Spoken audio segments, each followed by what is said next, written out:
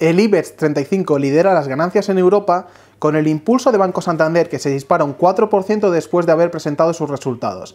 La entidad ha disminuido su beneficio en el primer semestre un 32% anual hasta los 2.911 millones de euros, pero supera las previsiones. Suben con fuerza además IAG y Mafre. En el caso de la aseguradora también después de haber presentado sus resultados, con un incremento del 20% hasta los 380 millones.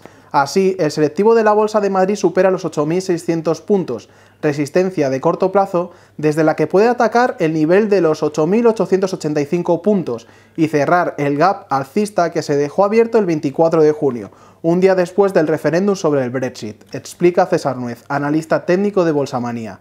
En Europa, el DAX cotiza rezagado frente al resto de índices con el freno de Deutsche Bank, que se desploma un 4% después de haber presentado sus resultados al mercado con un descenso en el beneficio del 98% en el segundo trimestre hasta los 20 millones de euros. En el plano económico, la atención está centrada en la Fed, que a las 8 de la tarde dará a conocer el comunicado sobre política monetaria. El mercado da por hecho que no habrá cambio en los tipos, pero será bien recibida cualquier pista de cara a las tres reuniones que quedan a lo largo del año. Para seguir toda la información de los mercados, bolsamanía.com.